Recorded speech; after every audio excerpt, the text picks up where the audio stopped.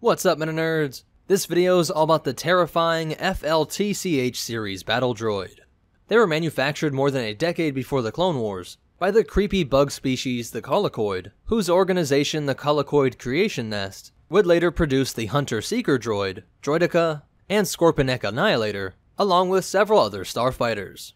Originally designed to act as assassins and guards for massive shipments of Trade Federation vessels, the superpowered battle droid stood 2.3 meters, or 7.5 feet tall, more than a foot taller than even the B-2 battle droid, while its arms packed these extendable blades, and had three claws on each hand, which were more than just intimidating. They actually allowed the Fletch to quickly scale buildings, rip droids and organics apart, and even punch through some lightly armored vehicles, while going through plastoid armor was like butter. And that was just its melee capabilities, but it was also known for being extremely nimble due to these cat-like digitigrade legs, while it also packed a rocket launcher and high-powered laser cannon.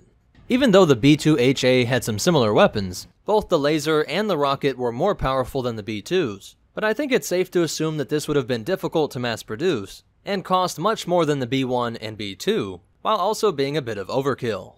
In 33 BBY, one year before the Battle of Naboo, a human representative traveled to Cerea to observe their culture, but he was also trying to turn the youth against their elders.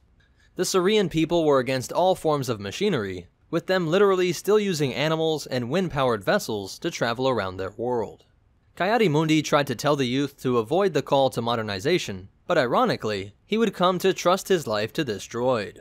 Ephant Mon, a notorious smuggler that would later be seen in Jabba's palace, was trying to make a killing by providing black market electronics to the Cerean youth, and hoped that this assassin droid could eliminate one of the most vocal conservative Cereans.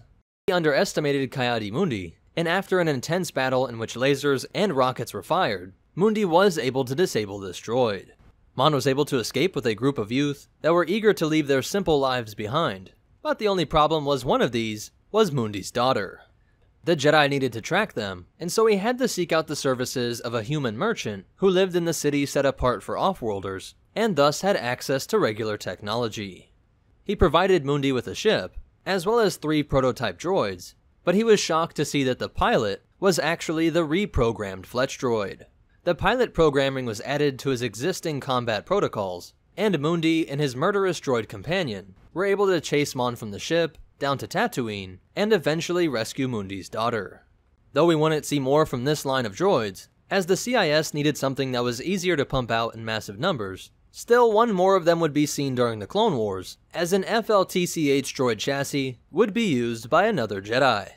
Frick-Ran started life as an immobile living crystal, a member of the Shard species, but when they started to be offered droid bodies for land, he went out to explore the galaxy in his new badass power suit.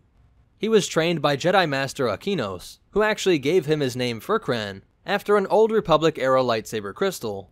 But despite his training in Battle Droid chassis, General Grievous was able to slay him in the fungi forest of Dagobah.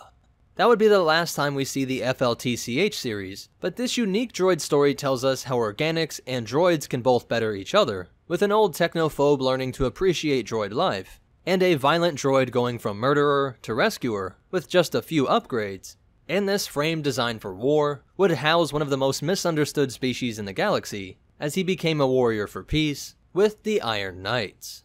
So that's it for the FLTCH series battle droid. If you want to connect with us, help support this channel, or pick up some of the material referenced in this video, be sure to check out the description down below. But most important of all, remember, even the scariest droids can change, and the Force will be with you, always.